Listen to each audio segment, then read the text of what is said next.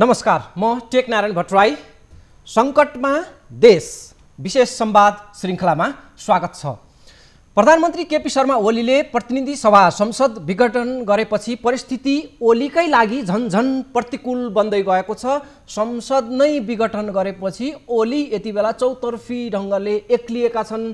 संविधान निर्माणमा योगदान गरे का संविधानविदहरू कानुनकर्मीदेखि सिङ्गो नागरिक समाजदेखि बौद्धिक क्षेत्र एवं सामाजिक सञ्जालको प्रतिक्रियासम्म अहिले ओलीको जुन कदमको छ यसको व्यापक विरोध त्यहाँ भइरहेको छ। प्रमुख प्रतिपक्षी दल नेपाली काङ्ग्रेस सहित विपक्षी दलहरूको त संयुक्त प्रदर्शनदेखि सर्वोच्च अदालतको निर्णयमा समेत प्रभाव पार्ने गरी पहल र दबाब बढाउने तयारीहरू चलिरहेको छ। नेकपाकै नेता कार्यकर्ता सडकमा छन् सामाजिक सञ्जालदेखि सञ्चार माध्यममा ओलीको कदमका विरुद्धमा यति बेला धावा बोलिरहेका परिदृश्यहरू देखिएका छन्। प्रधानमन्त्री ओलीलाई साथ दिँदै आएका मन्त्रीहरूले समेत साथ छाडेका छन् राजीनामा दिएका छन् उनी निकटकै थुप्रै नेताले अब त काँध थाप्न सकिन्न भन्दै या त मौनता साँधेर परिस्थिति निहाल्दै आकलन गरिरहेका छन् आगामी दिनहरूको या त अति भो भनेर ओलीमाथि नै प्रत्यक्ष अप्रत्यक्ष असन्तोष र विमतिहरू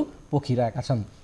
संसद विघटन पछिका प्रारम्भिक प्रतिक्रियाहरू हेर्दा ओली र राष्ट्रपति विद्यादेवी भण्डारी दुवैले पार्टीभित्रैबाट कानुनी क्षेत्रबाट विपक्षी दलहरूबाट सञ्चार क्षेत्रबाट सडकबाट संसदबाट सामाजिक सञ्जालबाट जताततैबाट र आफ्नै निकटहरूबाट समेत साथ गुमाउँदै गएको स्थिति देखिँदैछ। प्रधानमन्त्रीको यो कदमलाई अहिले पनि साथ दिएर उभिएकै प्रभावशाली मन्त्रीहरूले समेत यति बेला व्यक्तिगत धारणा नसोधिनु होला प्लिज कृपया। तर प्रधानमन्त्रीको निर्णयलाई पद्धति र परिस्थितिका कारणले स्वीकार गर्न र समर्थन गरेर अघि बढ्ने प्रक्रियामा हामी जानुपर्छ भनेर अहिले साथ दिइरहेका मन्त्रीहरूको समेत अलिकति दृढ मत यो पछिल्लो कदमका प्रति देखिएको छैन। यसको अर्थ हुन्छ अहिले साथमा रहेका भनिएका मन्त्रीहरूकै समेत दृढ साथ प्रधानमन्त्रीका लागि उपलब्ध छैन। मन्त्री प्रदीप गेवालीले मन्त्री परिषद बैठकमा आफ्ना फरक मत राखेका थिए। उनले दिएका प्रारम्भिक प्रतिक्रियामा आफ्नो व्यक्तिगत मतको यति बेला कुनै माने नहुने भएकोले व्यक्तिगत धारणाहरू नसोधिदिन कृपया। भनेर संवाददाताहरूलाई आग्रह गर्ने गरेका छन्। आज आन्दोलन र प्रदर्शनको व्यापक तयारी पनि भइरहेको छ। विपक्षी दलहरूबाट सुरक्षा व्यवस्था कडा पारिएको छ। राष्ट्रपति निवास र प्रधानमन्त्री निवासमा बाक्लो सुरक्षा छ। काठमाडौँका सडकमा सुरक्षाकर्मीहरूको उपस्थिति र गस्ती बढेको छ। देशभरका जिल्ला सदरमुकामहरू समेत अहिले हाई अलर्टमा छन्। सुरक्षा निकायको हिजो सुरक्षा निकायको हिजो प्रमुखहरूसँग प्रधानमन्त्रीको आकस्मिक बैठक समेत भएको थियो। देशको समग्र राजनीतिक घटनाक्रम निकै तीव्रतर हलचलमा यति बेला गुज्रिरहेको छ। यही पछिल्लो विकसित राजनीतिक घटनाक्रम घटनाक्रमबारे कुराकानी गर्न हामीसँग अहिले प्रत्यक्ष सम्पर्कमा हुनुहुन्छ। पूर्व प्रधानमन्त्री एवं जनता समाजवादी पार्टीका सङ्घीय परिषद अध्यक्ष डाक्टर बाबुराम भट्टराई। डाक्टर साहबबाट यो म पछिल्लो घटनाक्रमबारेको सटिक प्रतिक्रियाको म सुरुमै अपेक्षा गर्दै न्युज ट्वेन्टी फोरको यो विशेष संवादमा डाक्टर साहबलाई म स्वागत पनि गर्छु। डाक्टर साहब स्वागत छ। नमस्कार। हजुर म मैले चाहिँ प्रारम्भमै यहाँको संक्षिप्त सटिक यो पछिल्लो घटनाक्रमका बारेमा प्रतिक्रिया जान्न चाहेँ। मैले त प्रधानमन्त्री केपी शर्मा ओली र राष्ट्रपति विद्यादेवी भण्डारीका लोकतन्त्र विरोधी जनविरोधी र एउटा जनघाती कदमबारे निरन्तर बोल्दै आएको छु। धेरै मानिसहरूले भन्ने पनि गरे यो बाबुरामले केपी ओलीप्रति किन यस्तो पूर्वाग्रह साधेको होला भने तर मेरो कुनै पूर्वाग्रह थिएन। उहाँहरूप्रति व्यक्तिगत रूपमा मेरो अत्यन्त उच्च सम्मान छ।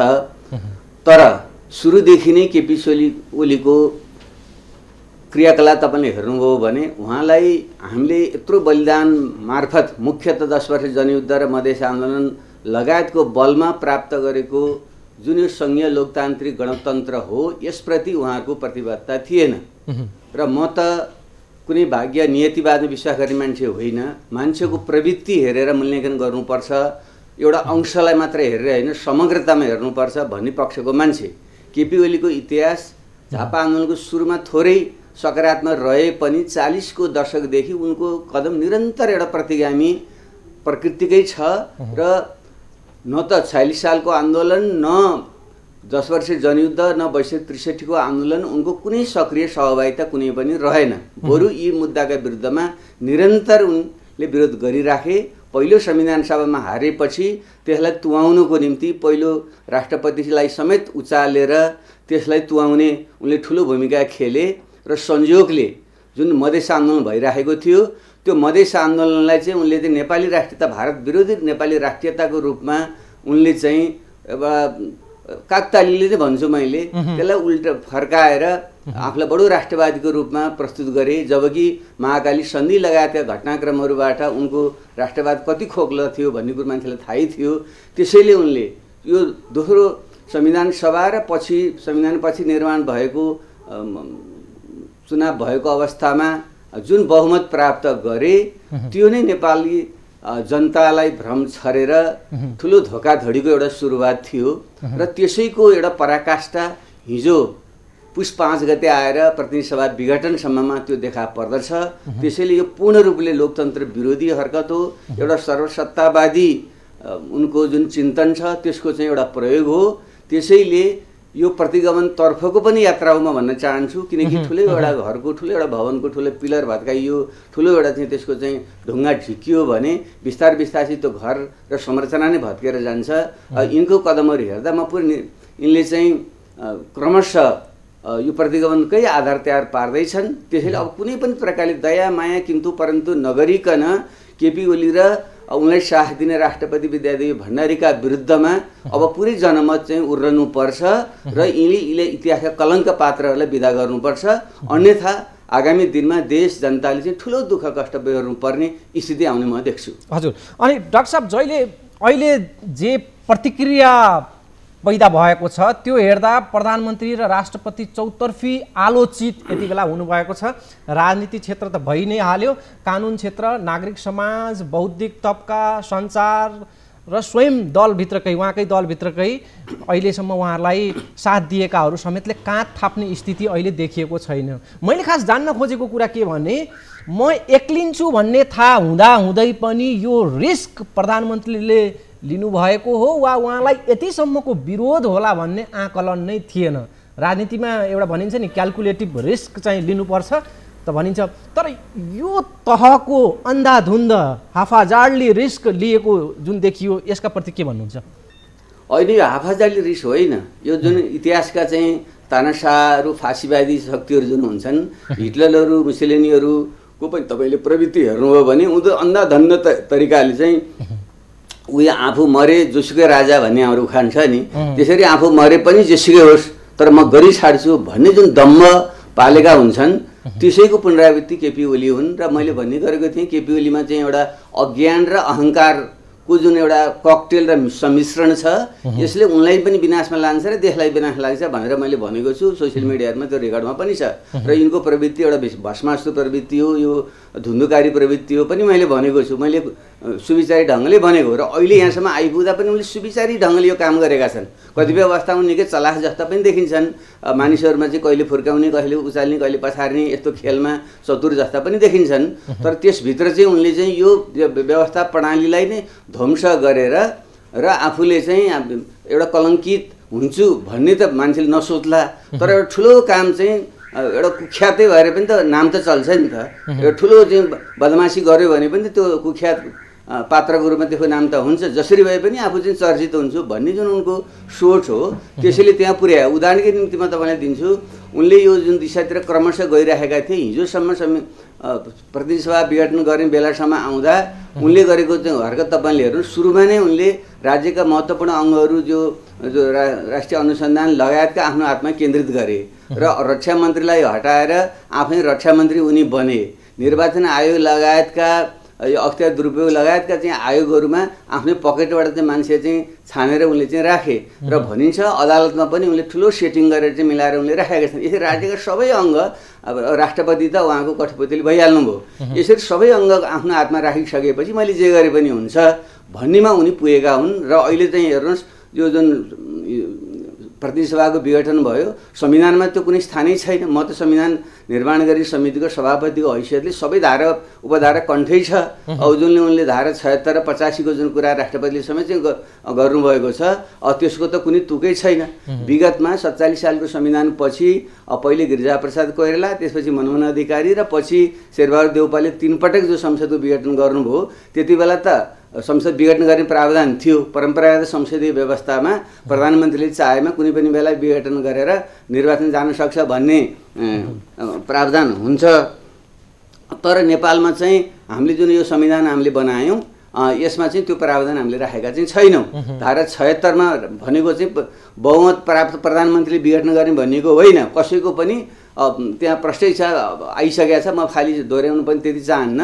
त्यो धारा छयत्तरका विभिन्न उपधाराहरूमा बहुमत प्राप्तलाई दलको नेतालाई प्रधानमन्त्री बनाउने त्यो नभए चाहिँ दुई वा दुईभन्दा बढी दल मिलेको चाहिँ बहुमत प्राप्तलाई प्रधानमन्त्री बनाउने त्यो पनि हुन सकेन भने तेस्रोमा सबभन्दा ठुलो दलकोलाई प्रधानमन्त्री बनाउने उसले तिन दिनभित्र विश्वासको मत लिन सकेन भने अनि बल्ल उसको सिफारिसमा राष्ट्रपतिले चाहिँ विघटन गरेर अर्को चुनाव गराउने भन्ने प्रावधान हो। त्यो त अल्पमतको सरकारको प्रावधान हो। यहाँ त अहिले बहुमत प्राप्त झन्डै दुई तिहाई बहुमत प्राप्त सरकारको प्रधानमन्त्रीले विघटन गर्न सक्ने कुनै प्रावधान छैन। त्यसले उनले जानी जानी यो गरेका छन्। र अहिले उनले किन यसो गरिराखेका छन् भने अब त्यो खाफाको अकर्म पर्यो देश चाहिँ अब कोरोनाबाट को महामारीबाट चाहिँ पीडित छ अर्थतन्त्र चौपट छ यस्तो बेलामा चाहिँ जनता धेरै ठुलो मात्रामा सडकमा निस्कन पनि अहिले अप्ठ्यारो अवस्था छ। अब यो चाहिँ जाडोयामको बेला पनि छ। यो सबै उनले चाहिँ हिसाब गरेर अब ठुलो प्रतिरोध हुँदैन र एउटै बाटो भनेको चाहिँ अब सर्वोच्च अदालत हो। सर्वोच्च अदालत पनि उनलाई चाहिँ के एउटा भ्रम होला अथवा चाहिँ ठुलो एउटा आत्मविश्वास होला भने त्यहाँ पनि आफूले नै चाहेका मान्छेहरूकै चाहिँ बाहुल्य छ त्यसैले भइहाल्छ। भन्ने उनलाई चाहिँ त्यो लागेको हुनुपर्छ। त्यसो भएको हुनाले उनले सुविचारी ढङ्गले नै हिजो संसदको जुन विघटन गरेका छन् मलाई के लाग्छ भने अब चाहिँ यी अङ्गहरूले पनि इतिहासप्रति जिम्मेवार भएर मुख्यतः सर्वोच्च अदालतले यो विषयमा चाहिँ सही कदम चाल्नेछ भन्ने मलाई विश्वास छ। यदि त्यसो हुन सकेन भने। अब उनले संविधान मिच त उनले मिचि नै सके। भने संविधानको रक्षार्थ हामीले फेरि राजनीतिक दलहरूले चाहिँ सहमति गरेर हिजो अलिकति हाम्रो प्रारम्भिक सल्लाह पनि सुरु भएको छ। यो संसदकै फेरि हामीले कुनै ढङ्गले भले कानुनी ढङ्गले त नमिल्ला तर राजनीतिक ढङ्गले चाहिँ फेरि संसदको नै पुनस्थापना गरेर यिनलाई चाहिँ हटाएर यसलाई अगाडि लिएर जाने दिशातिर पनि हामी सोध्नुपर्छ। भन्ने चाहिँ मेरो चाहिँ बुझाइ अब डाक्टर साहब एउटा त अदालतले अब यो विषयमा चाहिँ कस्तो फैसला गर्ला अदालतप्रति एउटा ध्यान आकृष्ट भएको छ। अर्को कुरा चाहिँ अब विपक्षी दलसहित अब नेकपाकै पनि अब भनौँ न एउटा एउटा समूहको अब सडक आन्दोलनबाटै प्रधानमन्त्रीलाई चाहिँ अब यो नैसियत दिने प्रकारको एउटा सडक आन्दोलन अर्को चाहिँ सर्वोच्च अदालतको फैसला। अनि मान्छेलाई चाहिँ अब के होला भन्ने खालको एउटा जिज्ञासा छ। अब तपाईँ को आकलनमा चाहिँ अबका परिदृश्यहरू कस्तो देखिएलान् अदालतका प्रतिको फैसलाको प्रति यहाँको के अपेक्षा छ के आकलन छ? अनि सडक आन्दोलन तपाईँहरूको तिन दलको हिजो एउटा सहमति जस्तो पनि बनेको थियो। अब सहकार्यमा चाहिँ विपक्षी दलहरूको आन्दोलन अगाडि बढ्ने कुराहरू के के आकलन गर्नुभएको छ अबको दिनहरू? र उनले केपी ओलीले एउटा विचारी सुविचारी ढङ्गले के गरे भने विगतमा पनि संसद चाहिँ विघटन भएको बेलामा त्यति बेला चाहिँ राजा अ, मा त्यो संविधानमै अधिकार त थिएन तैपनि परम्परादेखि उनीमा रहेको सार्वभौम सत्ता राजकीय सत्ता प्रयोग गर्ने भन्ने जुन कुरा उनले दुरुपयोग पनि गरे सत्र सालदेखि पटक पटक त्यसको सदुपयोग गरेर त्यसलाई बिउताउने भन्ने पनि आधारमा चाहिँ त्यो संसदले विघटन यो बिउताइएको थियो। भले त्यति बेला पनि हामीले भनेका थियौँ राजाले बिउताउने अधिकार हुन्न है भनेका थियौँ। तर अहिले त त्यो पनि ठाउँ छैन।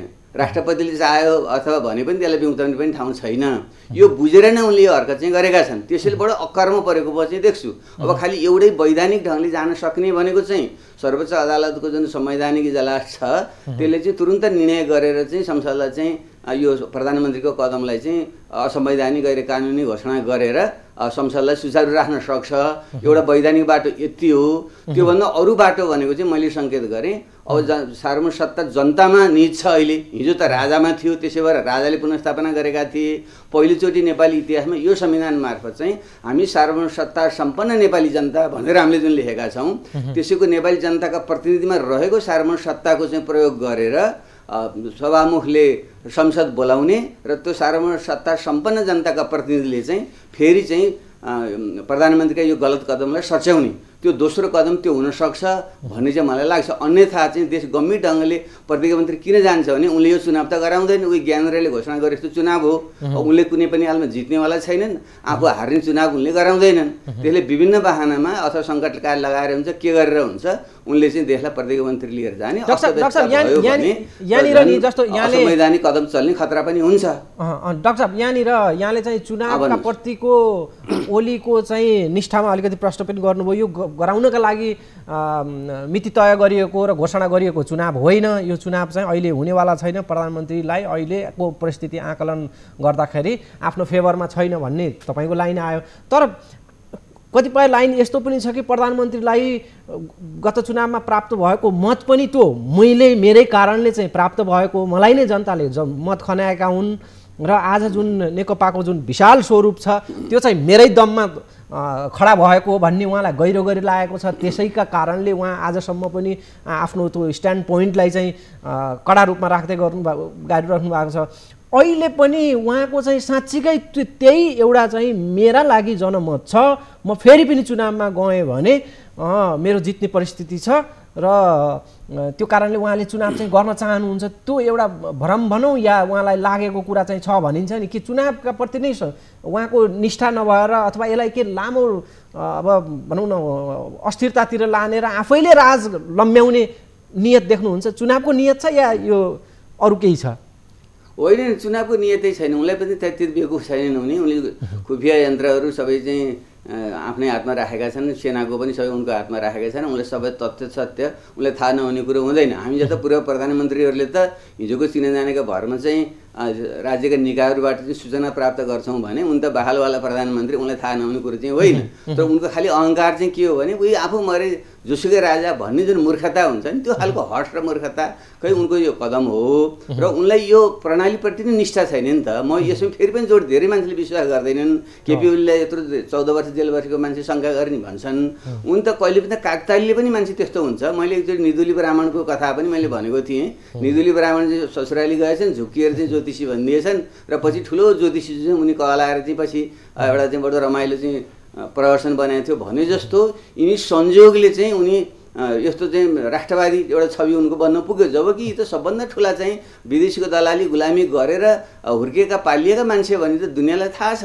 तर खालि त्यो यो संविधान जारी भएपछिको अवस्थामा मुख्य रूपमा जुन मधेसी विद्रोह थियो मधेस र पाहाडको बिचमा हाम्रो जुन एउटा दूरी छ त्यसको उनले लाभ उठाएर त्यसलाई भारतले चाहिँ नाकाबन्दी पनि गर्यो त्यसमा। त्यो भारतले नाकाबन्दीतिर मात्रै ध्यान मोडेर वास्तवमा चाहिँ मधेसको आन्दोलनप्रति चाहिँ ध्यान मोड्ने जुन उनले प्रयत्न गरे र पाहाडका हामी केही मान्छेहरूमा जुन एउटा भ्रम पार्न पनि उनी सफल भए त्यसैको चाहिँ अहङ्कार उनले पालेका हुन् र उनले जनमत प्राप्त गरेको भन्ने के प्रत्यक्ष निर्वाचित राष्ट्रपति प्रणालीमा जाउँ भन्दा उनी मान्दैनन्। यदि उनलाई आफ्नो जनमतप्रति त्यत्रो विश्वास छ जनसमर्थनप्रति त्य- त्यत्रो विश्वास छ भने त प्रत्यक्ष निर्वाचित कार्यकारी प्रणालीमा जान तयार हुनु पर्थ्यो नि।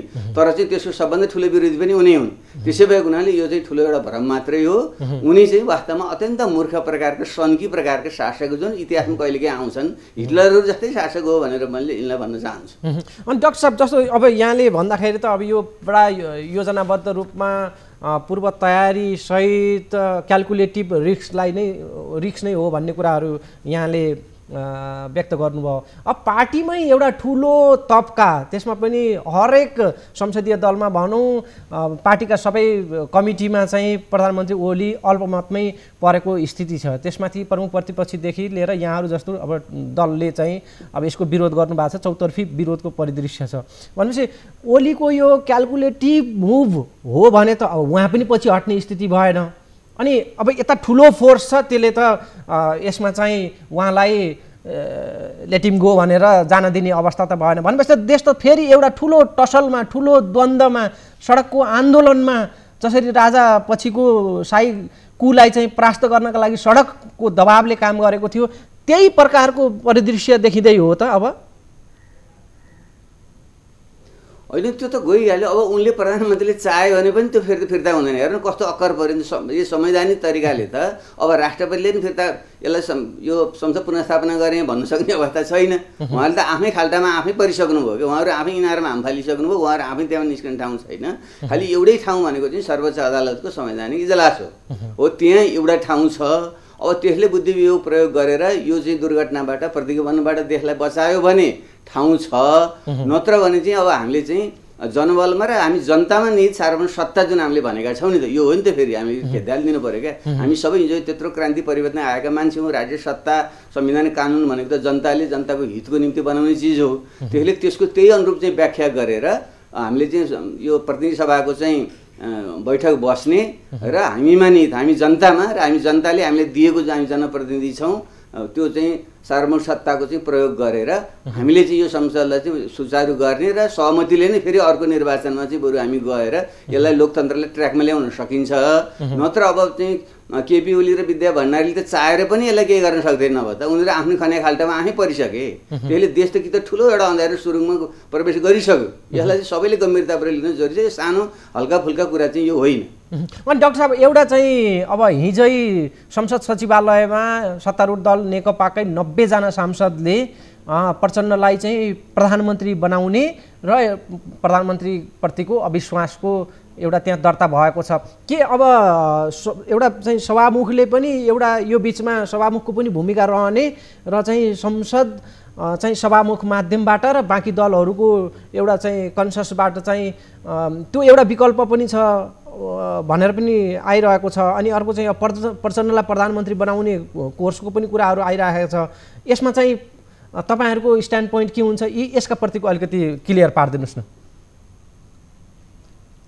मैले अब यति बेला चाहिँ अब यो हाम्रो नेकपाभित्रका प्रतिपक्ष र अरूको बारेमा टिप्पणी गर्नु उपयुक्त मान्दिनँ। उहाँहरू गल्ती त उहाँहरूले गरेको हेर्नु इतिहासमा के हुन्छ भने यस्ता मध्यमार्गी नेताहरू जो हुन्छन् जसले ढुलमुल गर्ने जसले मिलाउने एकता भन्ने निरपेक्ष एकताका जुन कुरा गरेर बस्छन् यस्ता मान्छेहरूले नै यस्ता फाँसीवादी निरङ्कुश शासकहरू अगाडि ल्याउँछन्। हिटलरको एउटा इतिहास तपाईँले हेर्नुभयो भने पनि हिटलरले बदमासी गर्दै गइरहेको थियो तर चाहिँ बिचका साय होइन हामी मिलाउनुपर्छ मिलमिलाप गर्नुपर्छ भनी भनिकन यस्तो ठाउँमा पुर्यायो कि पछि चाहिँ मिलमिलाप गरी फर्किने ठाउँै थिएन भने जस्तै यहाँ पनि नेकपाभित्रका त्यो अलिकति आफूलाई नरम भन्न रुचाउने जुन सास साथीहरू हुन् उहाँलाई मैले असारदेखि भनेको तपाईँले गल्ती गरिराख्नु भएको छ। केपी ओलीलाई तपाईँले जसरी चाहिँ हुर्काइराख्नु पालिराख्नु भएको छ देख्नु होला यिनले खाल्टोमा हाल्छन् तिमीहरूलाई हामीलाई देशलाई खाल्टोमा हाल्छन् मैले असारमै उहाँहरूलाई भनेको छु।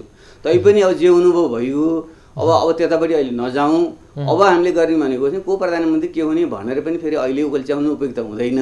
त्यो त जुन सार्वभौम संविधान सभा यो हाम्रो चाहिँ प्रतिनिधि सभा छ त्यसलाई सुचारू गराउने र संविधान को भन्दा पनि एउटा चाहिँ भावना के लेटरमा त नहोला अक्षरमा त नहोला संविधानमा। तर भावना त छ नि सङ्घीय लोकतान्त्रिक गणतन्त्रको जुन संविधान हो यसलाई बचाउने त हाम्रो दायित्व हो नि त। यसलाई बचाउनुको निम्ति उचित निकास चाहिँ त्यहाँबाट हामीले निकाल्न सकिन्छ खोज्नुपर्छ। भन्ने मलाई लाग्छ। अब प्रधानमन्त्रीका पक्षधरहरूबाट आइरहेको मत के छ भने उहाँका समर्थकहरूबाट र उहाँलाई साथ दिएका मन्त्रीहरूबाट प्रधानमन्त्रीका लागि अहिले यस्तो चाहिँ घेराबन्दी थियो यो बाहेक अर्को विकल्प प्रधानमन्त्रीसँग थिएन भनेर उहाँहरूको चाहिँ मन्त्रीहरूले के भन्नुभएको छ भने यो यो घेराबन्दीबाट मुलुक मुलुक नै अहिले घेराबन्दीमा थियो। यसलाई निकास दिने चाहिँ उपाय यही मात्रै थियो त्यसो भएर अब अप्सनै थिएन। त्यस्तो अक्करमा चाहिँ देश परेको थियो। त्यस्तो अक्करमा प्रधानमन्त्री पर्नु भएको थियो भन्ने उहाँहरूको तर्क छ। यसमा चाहिँ तपाईँ के भन्नुहुन्छ? हेर्नु यो त भोक लाग्यो भने बिख खाने जस्तो कुरा भयो। है यतापट्टि भिड छ भनेर चाहिँ अर्को पल्टि खाल्टोमा हाम हाम हाम फाल्ने जस्तो कुरा हो यो तर्क मिल्दैन यो सत्य पनि होइन र फेरि यो समाधान पनि होइन। यो कुतर्क मात्रै हो। अब अर्को नि डाक्टर साहब अब हिजो तपाईँहरूको तिन दलको एउटा सहमति पनि भएको थियो। अब आज भोलि पर्सि यहाँहरूको मुभ संयुक्त रूपमा दलहरूको यसका प्रति जुन मुभ अहिले कदम छ यसको विरोध गर्ने दलहरूको संयुक्त केही पहल आन्दोलन हुन्छ? अब अबको परिदृश्य एक दुई दिनमा के हुन्छ? यहाँहरूको तयारी कस्तो छ? के छ? अब हामीले त यो पहिलेदेखि नै कुराकानी गरिरहेको छौँ। खासै मैले निजी रूपमा पनि नेकपाभित्रका पनि अलि लोकतन्त्र पक्षधर साथीहरू नेपाली कङ्ग्रेस र हाम्रो जनता समाजवादी पार्टी र अन्य दलहरूसँग पनि निजी ढङ्गले चाहिँ समाजहरू पहिले पनि गर्ने गर्दै आइरहेको पनि थिएँ। अब हाम्रो अस्तिदेखि अस्ति हामी नेपाली कङ्ग्रेस र जनता समाजवादी पार्टी बस्यौँ। हिजो चाहिँ नेकपाकै अब अहिले के उहाँलाई असन्तुष्ट नेता भन्ने कि के भन्ने उहाँहरू अब उहाँ नेताहरू र नेपाली काङ्ग्रेस र जनता समाजवादी पार्टी हामी बसेर यो असंवैधानिक लोकतन्त्र विरोधी र अत्यन्त प्रतिगमनकारी कदमलाई प्रतिरोध गरेर यसलाई सच्याउनको निम्ति चाहिँ सहकार्य गरेर जानुपर्छ। भन्नेसम्म हाम्रो सहमति भएको छ र आज चाहिँ हामी सबै पार्टीका बैठकहरू छन् जनता समाजवादी पार्टीको पनि यहाँ उपलब्ध केन्द्रीय कार्यकारिणी समितिका सदस्य सहितको चाहिँ बैठक आज हामी दिउँसो बस्दैछौँ। अरू पार्टी नेपाली काङ्ग्रेस पनि बैठक छ भन्ने कुरा थियो र साँझसम्ममा सायद हामी चाहिँ सर्वदलीय बैठक पनि बस्छौँ। त्यसैले चाहिँ अब निकास त हामीले दिनै पर्छ अब मेरो एउटा आग्रह के छ भने यो लोकतन्त्र नै खराब रहेछ भन्ने भावना गर्नु हुँदैन। प्रणाली ठिक हो यस्ता धुन्धुकारी मान्छेहरू यस्ता बेइमान मान्छेहरूले आएर बेला बेलामा लोकतन्त्रलाई गलत दिशामा लान लगे भन्दैमा लोकतन्त्र खराब गणतन्त्र खराब। भन्नेतिर जानु हुँदैन। अर्काथरी शक्तिहरू चाहिँ गणतन्त्र लोकतन्त्र भनेकै यस्तै हो। भनेर जनतामा भ्रम छ भने फेरि प्रतिगमनतिर चाहिँ जाने। भन्ने जुन गर्न खोज्छन् त्यसले भोग लाग्यो भनेर बिख खानु हुँदैन। लोकतन्त्र गणतन्त्र संहिताको चाहिँ विकल्प छैन। यही संविधानमा टेकेर यसका कमी कमीहरूलाई सच्याएर यस्ता निरङ्कुश र फासिस्ट जुन शासक छन् यिनलाई तह लाएर हामी अगाडि बढ्नुपर्छ। त्यतापट्टि चाहिँ हाम्रो प्रयत्न रहन्छ। मलाई विश्वास छ किनकि म त हिजो त्यत्रो जनयुद्ध जनआन्दोलनमा सहभागी भएर आएको पनि नाताले जागेका जनताले चाहिँ फेरि सबै कुराको समाधान खोज्छन्। म जनतालाई आग्रह गर्न चाहन्छु हामीले अत्यन्त चाहिँ सकारात्मक सोचका साथ यो लोकतन्त्र गणतन्त्र संहितालाई बचाएर यो संविधानलाई बचाएर यसका अपूर्णतालाई सच्याएर अगाडि जानुपर्छ। त्यो सम्भव छ। म यही आग्रह सबैसँग गर्न चाहन्छु। अनि डाक्टर साहब जस्तो अब वैशाख सत्र गते पहिलो चरण र वैशाख सत्ताइस गते दोस्रो चरणका लागि चुनावको मिति समेत घोषणा भएको छ र सर्वोच्च अदालतले यो प्रधानमन्त्रीको कदमलाई चाहिँ सदर गरिदियो र चुनावमा जाने परिस्थिति पनि नेपाली काङ्ग्रेसले पनि अहिलेको माहौललाई हेर्दाखेरि अलोकप्रिय सरकार छ। यही बेलामा चाहिँ हामी गयौँ भने हामीलाई चाहिँ यो राम्रो उर्वर समय हुनसक्छ भन्ने क्यालकुलेट गरेर काङ्ग्रेस पनि जाने माहौल बन्यो। र चुनावको एउटा माहौल बन्ने सम्भावना तपाईँ कति देख्नुहुन्छ? अथवा अब त्यस्तो माहौल बन्दाखेरि तपाईँहरू चाहिँ चुनावमा जाने तयारी चुनावका लागि चाहिँ होइन ठिकै छ नि त अब जनमतलाई चाहिँ एकचोटि फेरि ट्र- ट्राई गरौँ भन्ने त्यो त्यो त्यो तपाईँहरूको अडान के हुन्छ यस विषयमा? होइन हामी त यी पुराना राजनीतिक शक्तिहरू कम्युनिस्ट काङ्ग्रेसबाट भएन।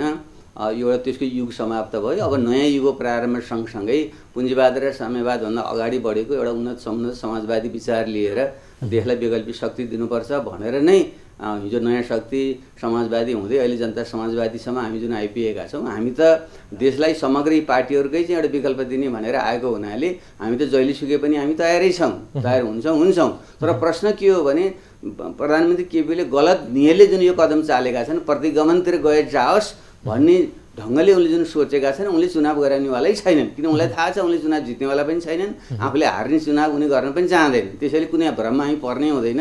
नेपाली काङ्ग्रेसका साथीहरूलाई पनि मैले अस्ति भने यो भ्रममा तपाईँ नपर्नु होला। हामी प्रतिपक्षीले त चुनावलाई सँगै तयार हुनुपर्छ। सामान्यतया चाहिँ हामीले स्वागत गर्नुपर्छ। तर चाहिँ चुनाव हुनु पऱ्यो नि गरिनु पऱ्यो नि स्वतन्त्र निष्पक्ष ढङ्गले। त्यो हुनेवाला छैन। त्यसैले चाहिँ हामीलाई अवसर आयो भनेर हामीले चाहिँ सत्ताको र्याल काट्न हुँदैन। र यो लोकतन्त्रलाई बचाउने कुरा प्रतिगमनलाई बाट देशलाई बचाउने कुरा चाहिँ प्रमुख कुरा हो भनेर मैले अस्ति पनि भनेको थिएँ। म आज पनि यही भन्न चाहन्छु। यति बेला अब कोरोनाले चाहिँ विश्वलाई नै अझै पनि यो चाहिँ जाडोभरि चाहिँ ठुलो त्राइमाम गरिराखेको छ। खोपको चाहिँ अरू देशमा चाहिँ प्रयोग हुन थालिसके। हामीसँग चाहिँ खोप ल्याएर जानुपर्ने बेलामा यो हाम्रो जुन हाम्रो चाहिँ शक्ति धन जुन ढङ्गले चाहिँ दुरुपयोग हामी गरिरहेका छौँ समय खेर पालिरहेका छौँ यो चाहिँ ठुलो आत्मघाती चाहिँ कदम हुन्छ। त्यसैले चाहिँ चुनाव आउँछ मैले जित्छु मेरो सरकार बन्छ भन्ने भ्रममा हामी पर्नु हुँदैन। यो प्रतिगमनलाई सच्याएर यसमा टेकेर लोकतन्त्र सुदृढ गरेर अनि स्वतन्त्र निष्पक्ष चुनावमा हामी जाउँ। त्यति बेला जसले जित्दा ठिकै छ। हामी जनता समाजवादी पार्टी त एउटा वैकल्पिक शक्ति हिमाल पहाड तराई मधेस जोड्ने शक्ति निर्माण गर्न लागेको हुनाले हामी त चुनावबाट जहिले पनि हामी चाहिँ तयार हुन्छौँ यसमा कुनै भ्रम नराखे हुन्छ।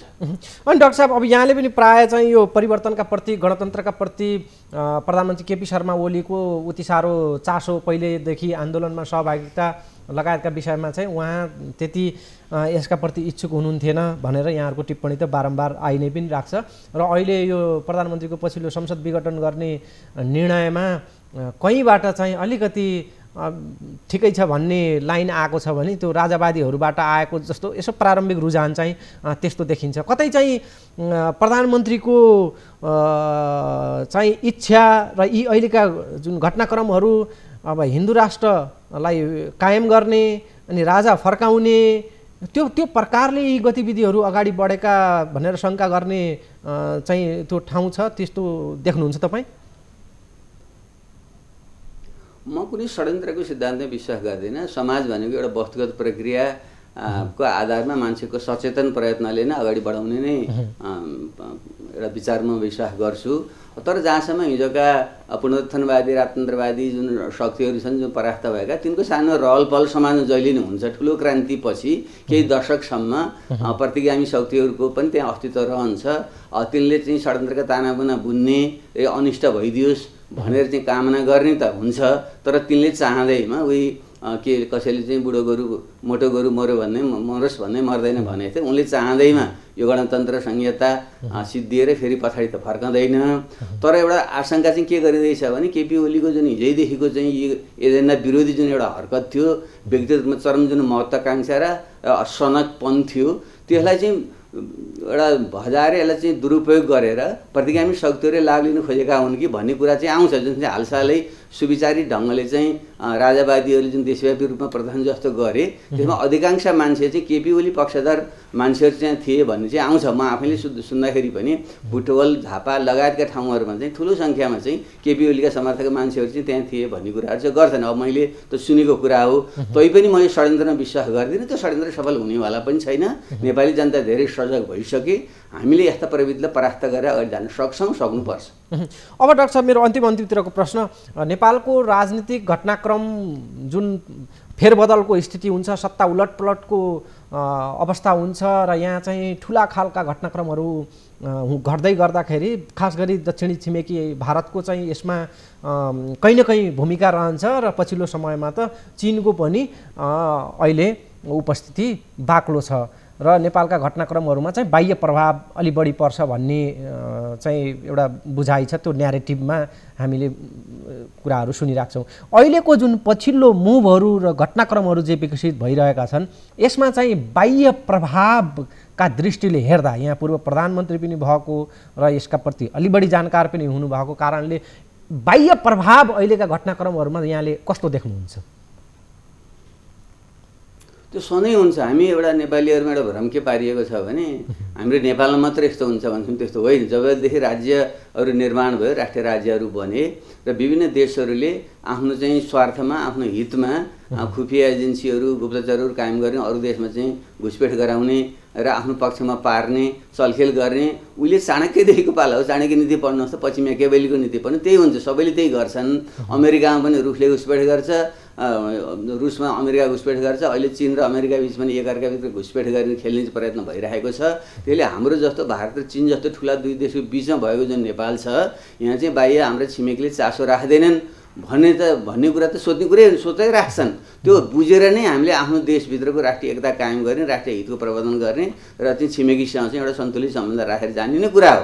त्यसैले मैले अहिले पनि जुन सङ्केत गरिरहेको छु केपी ओलीले चाहिँ एउटा मूर्खतापूर्ण ढङ्गले जुन हाम्रा संरचनाहरूलाई भत्काएर देशलाई अस्थिरता र अराजकतातिर चाहिँ लैजाँदैछन् त्यसको अराजकता र अस्थिरताबाट छिमेकीहरूले चाहिँ झन् चाहिँ हात हाल्ने सुन घुसार्ने र देशलाई चाहिँ झन् एउटा चाहिँ बर्बादीतिर लिएर जाने र देशको राष्ट्रिय अखण्डता नै खतरामा पर्ने खतरा पनि सम्भावना पनि आउन सक्छ। मैले पहिलेदेखि पनि अस्तिदेखि पनि सङ्केत मैले गरिरहेको छु। त्यसो भएको हुनाले पनि बाह्य शक्तिको कारणले नै भयो भन्ने त होइन।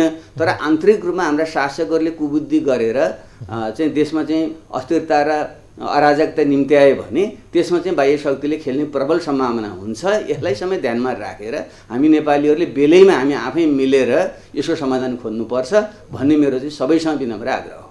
मैले अब मेरो यो अन्तिम प्रश्न। डाक्टर साहब यही बाह्य प्रभावकै सन्दर्भमा पछिल्लो पटक चाहिँ नेपालमा भारतका चरण चरणका त्यहाँका सेना अध्यक्ष अनि रहका प्रमुख त्यसपछि त्यहाँका विदेश सचिवको नेपाल भ्रमण भयो र अहिले यो परिस्थिति सिर्जना भएको छ दुई कोणबाट। एउटा चाहिँ ती भ्रमणहरूकै एउटा श्रृङ्खलाको एउटा चाहिँ परिणाम हो भनेर पनि भन्छन्। कसैले चाहिँ ओलीले चाहिँ अघिपछि चाहिँ प्रेडिक्सन गर्न सकिन्थ्यो बाह्य प्रभावको असर हुन्थ्यो नेपालमा तर यो चाहिँ एकदम अनप्रेडिक्टेबल भयो। भारतलाई पनि केपी ओलीले चाहिँ एक खालको चकमा दिए सरप्राइज भयो भारत यो घटनाक्रमबाट भनेर यो कोणबाट पनि आइरहेको छ। मैले बुझ्नु खोजेको यो चाहिँ खास गरी भारतको अलिक बढी प्रभाव पर्ने भएको कारणले भारतलाई पनि विश्वास लिएको तपाईँलाई कतै लाग्छ अहिले प्रधानमन्त्रीको मुभहरूमा यी कदमहरूमा? र मैले फेरि पनि भन्छु म यो कन्सपिरेसी थ्योरीतिर विश्वास गर्दिनँ। तर केही समय यता हाम्रो दुइटै छिमेकीहरूको जुन यहाँ भ्रमण भएको छ त्यसको प्रकृति हेर्दाखेरि चाहिँ म अलिक गम्भीर भएको छु। खासै दक्षिणतिरबाट पनि सुरक्षा अङ्गसँग सम्बन्धी मान्छेहरू यहाँ आए गुप्तचर निकायका प्रमुख सेना प्रमुख र ब्युरोक्रेसीका चाहिँ सचिव लगायतका मान्छे आए उत्तरबाट पनि रक्षा मन्त्री आए। यसरी हेर्दाखेरि नेपालले चाहिँ राजनीतिक ढङ्गले आर्थिक सामाजिक सांस्कृतिक ढङ्गले हेर्नुभन्दा पनि फौजी ढङ्गले र सामरिक ढङ्गले मात्रै दुइटै छिमेकीले हेर्न थालेको अन्तर्राष्ट्रिय जगतले हेर्न थालेको हो कि? त्यसले आगामी दिनमा यदि हामीले बुद्धि पुर्याएनौँ भने नेपाल चाहिँ ठुलो सामरिक द्वन्द्वको केन्द्र बन्छ कि? भन्ने चिन्ता चाहिँ बढेको छ। त्यसै भएको हुनाले पनि हामीले यसले चाहिँ राजनीतिक शक्तिहरूले नै पहल लिएर हाम्रो सम्बन्ध चाहिँ छिमेकीहरूसँग पनि राजनीतिक र कुटनीतिक ढङ्गले राख्नुपर्छ र यो खुफिया एजेन्सी र सैनिक र सामरिक ठाउँको सम्बन्धभन्दा माथि उठेको राजनीतिक आर्थिक सम्बन्ध विस्तारमै हामी जानुपर्छ। मैले विगतदेखि पनि भन्ने आएको विषय नै यही थियो। मैले चाहिँ यो प्रबुद्ध समूह मार्फत चाहिँ पहल लिएर भारतसँग सम्बन्ध सुधार गरौँ र छिमेकीसँग चाहिँ एउटा गतिशील तटस्थताको एउटा नीति अप्नाउँ। भारत र चिनको बिचमा चाहिँ एउटा गतिशील पुल जस्तो चाहिँ बन्ने प्रयत्न गरौँ। भन्नुको अर्थ पनि त्यही थियो। त्यसै भएको हुनाले यी विषयहरू गम्भीर छन्। केपी ओलीको यो मूर्खताले गर्दा देशको अस्तित्व नै गम्भीर खतरामा पर्ने स्थिति चाहिँ बन्दैछ त्यसले केपी ओलीले राष्ट्रवादी भन्ने जुन एउटा भ्रम निर्माण भएको थियो त्यसबाट हामी तुरन्त जति छिटो मुक्त हुन सक्यो त्यति नै हामी नेपाली चाहिँ सच्चा रूपमा राष्ट्रिय एकता कायम गरेर एउटा देशभक्तिको चाहिँ प्रवर्धन गर्न सक्छौँ भन्ने मलाई चाहिँ विश्वास छ। हस् डाक्टर साहब यो महत्त्वपूर्ण समय अहिले चलिरहेको छ र राजनीतिक घटनाक्रमका दृष्टिले यति बेला चाहिँ अब के होला अब के होला अहिले तत्काल अर्को के मुभ होला भन्ने प्रकारको एकदम सनसनीपूर्ण जगजगीपूर्ण एउटा अनप्रेडिक्टेबल स्थिति छ। यो बिचमा चाहिँ तपाईँको यो धारणाहरूले चाहिँ केही अहिलेको राजनीतिलाई बुझ्नका लागि चाहिँ मद्दत गर्यो भन्ने लागेको छ। यो समय र संवादको लागि म यहाँलाई धेरै धेरै धन्यवाद दिन्छु डाक्टर साहब। ल, यहाँलाई पनि धेरै धेरै धन्यवाद। हस्। दर्शकबिन पूर्व प्रधानमन्त्री बाबुराम भट्टराईसँग हामीले पछिल्लो राजनीतिक घटनाक्रमका बारेमा उहाँको समीक्षा उहाँका टिप्पणी र उहाँका अबका आकलनहरूको बारेमा बुझ्ने प्रयास गऱ्यौँ। सङ्कटमा देश संवाद श्रृङ्खला हामीले निरन्तर नै राख्नेछौँ। यो श्रृङ्खलाको समय चाहिँ सकिएको छ। अर्को श्रृङ्खलामा भेट्ने गरी अहिलेका लागि बिदा चाहन्छु। नमस्कार।